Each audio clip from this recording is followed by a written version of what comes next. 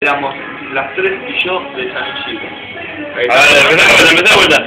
Me dicen del boliche 5 de la mañana, hasta las 5 y media el boliche estaba abierto, por ende tenía que esperar 30 minutos que salgan los muchachos. Me encuentro con tres ministas.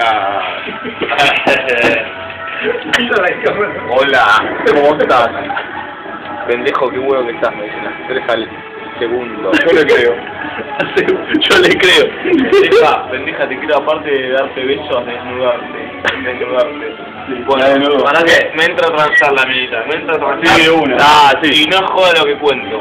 Me entra a transar la minita, boludo, me entra a transar pero mal, me entra a tocar los huevos, la bolsa, me tocó la bolsa, y de repente una de las dos, una de las tres, ¿Con este gesto? no, con la boca, era con la boca, era con la boca. Ah, o sea, Ah, con la boca. Dijo, ¿te puedo hacer la paja con la boca? Totalmente, yo le dije, no estás zarpada, pendeja, no ves todo el mundo. A mí me respetás. Bueno, ¿y ahí qué pasó? La corrió una amiga y me entró a transar otra. Me No. entró a transar otra. Quedaba uno todavía. Me entró a transar otra, yo estaba medio aburrido. Tenía las ¿No te, ¿No te cansa un poco que te usen tu cuerpo nada más? Que tu esculpido, ¿no? Mira, la vez que lo hicieron las mujeres me encantó. Cuando fueron hombres me costó un huevo, boludo. Asúmelo. Hasta tal punto que bueno, que la tercera lo corrió y me empezó a transar la tercera, boludo. Claro.